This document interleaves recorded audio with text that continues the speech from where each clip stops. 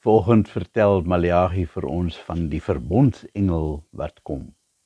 Ons lees daarvan in Maleagi 2 vers 17 tot hoofstuk 3 vers 5. Maleagi begin hierdie perikoop met 'n swaar sug. Julle vermoei die Here met julle woorde. Ons kan dit amper vertaal met ag bly tog stil, julle pla die Here. Wat 'n verskriklike ding om te sê. Maar waaroor het dit gegaan? Hulle was verbitterd en hulle het aantuigings gemaak dat die Here eintlik die slegte mense voortrek en dat hulle, sy volk, wat eintlik die goeie mense is, moet swaar kry. Dis bitter onregverdig van die Here. Dan vra hulle, Waar is die God wat oordeel dan? ons hoor daagliks daai selfe verwytende vraag. En dan is daar gewoonlik glad nie eenvoudige antwoorde nie.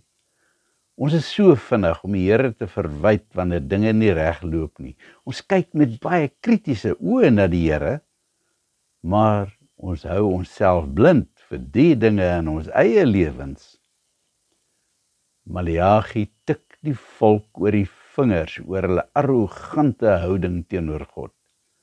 Maar dan maak die Here 'n aankondiging.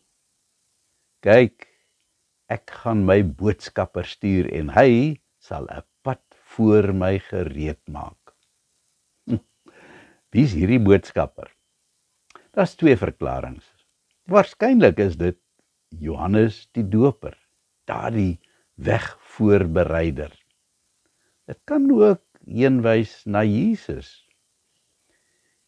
Hierdie was 'n baie bekende beeld in daai tyd en die Israeliete het presies geweet wat dit beteken.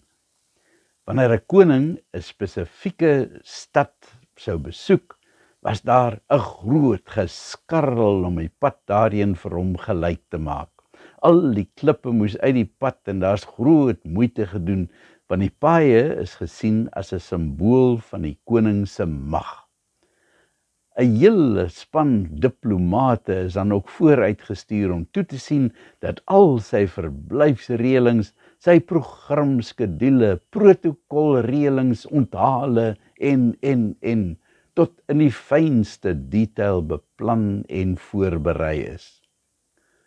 So is hierdie boodskapper, oftewel die verbondsengel dan die afgevaardigde wat die voorbereidingswerk moet gaan doen vir die koms van die Here die Almagtige.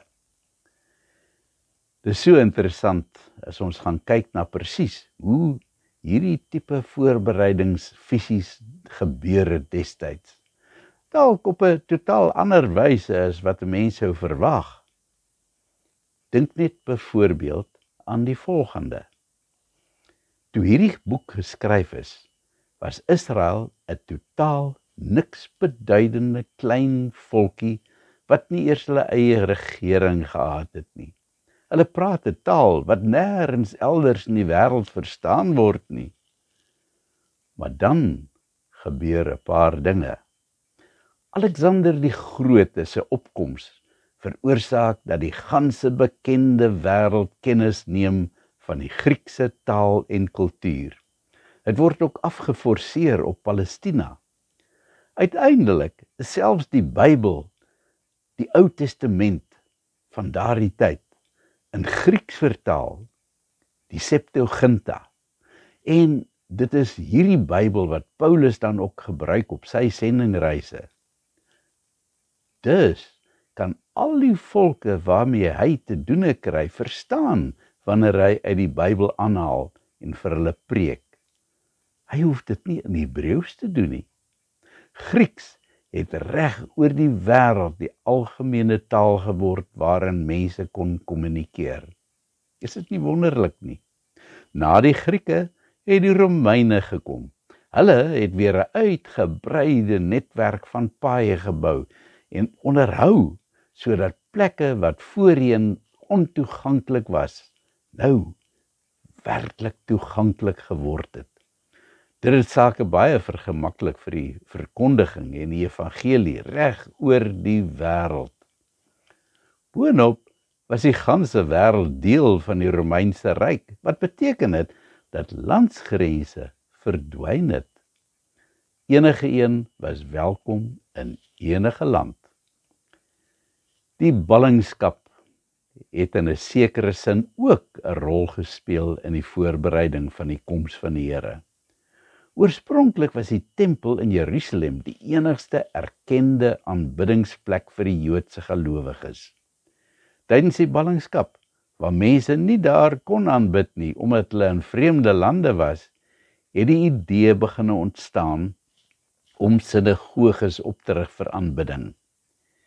Hierdie idee het uiteindelik wêreldwyd versprei en as daar 10 Joodse mans op 'n plek was, kon daar 'n sinagoge gebou word. Tydens Paulus se sendingreise het hy elke keer na die sinagoge in 'n stad gegaan en daar 'n aanknopingspunt vir die evangelie gekry. Daarvandaan het dit verder versprei na die heidene. Maar vir die volk Israel was hierdie voorbereidingswerk van die verbondsengel nie maklik nie. Maar wie kan die koms van die engel verdra? Wie kan standhou wanneer hy verskyn? So vra Maleagi. Hierdie verbondsengel moes suiweringswerk doen en slegs 'n klein handjievol disippels het dit uiteindelik deurstaan. Op Pinksterdag is daar net 120 gelowiges oor. Mense wat dit deur die suiweringsproses gemaak het. Uit hierdie klein kerngroepie het die ganse kerk van God gegroei. Reeds op die heel eerste dag het dit met 'n verdere 3000 mense gegroei. Die Here doen soms ook suiweringswerk aan my en jou. Soos wat dit vir die eerste disippels dikwels 'n pynlike proses was, is dit vir ons ook gewoonlik pynlik. Maar aanvaar die suiwering met groot blydskap, want daaruit kan net groot dinge groei. Werk saam wanneer hy sondes in jou lewe uitwys en maak werk daarvan. Kom ons bid. Here, dankie dat U met my bemoeienis maak en my waardig ag dat U my kan suiwer. Help my met met blydskap te aanvaar. Amen.